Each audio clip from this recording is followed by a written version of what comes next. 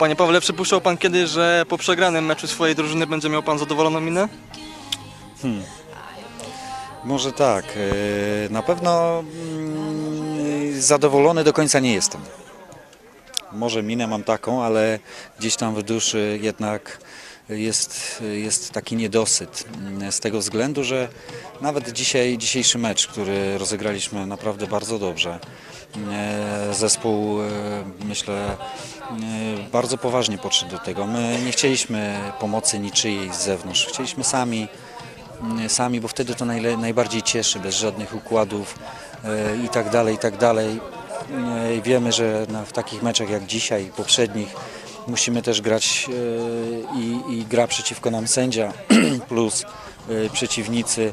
I ja powiem tak, to, że utrzymaliśmy się, e, to jest tylko dlatego, że właśnie mm, zespół chciał, chciał zrobić wszystko sam. Walczył oczywiście z różnym skutkiem. Dzisiaj w 88 minucie dostajemy bramkę, przegrywamy mecz.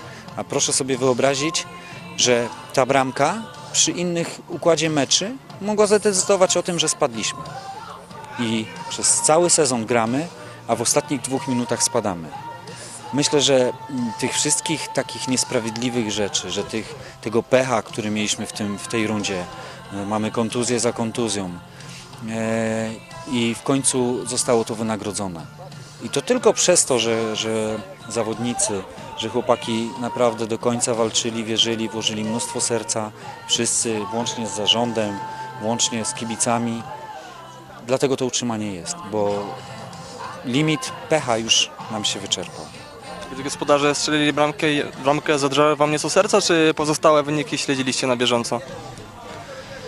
Śledziliśmy na bieżąco, mieliśmy informację, że Rogów wygrywa już wysoko mm, 3-0, E, ale mimo to naprawdę my nie zasłużyliśmy dzisiaj na przegraną.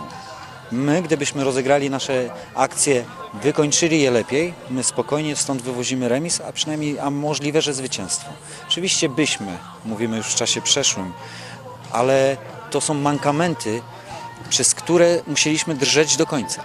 Bo w tej całej rundzie było mnóstwo takich sytuacji, właśnie, że brakowało naprawdę niewiele. E, troszkę inaczej podać piłkę, inaczej ułożyć stopę, e, z, z mocniejszą siłą lub z lżejszą ją podać. To są naprawdę bardzo niewielkie sprawy, a one nie zafunkcjonowały do końca.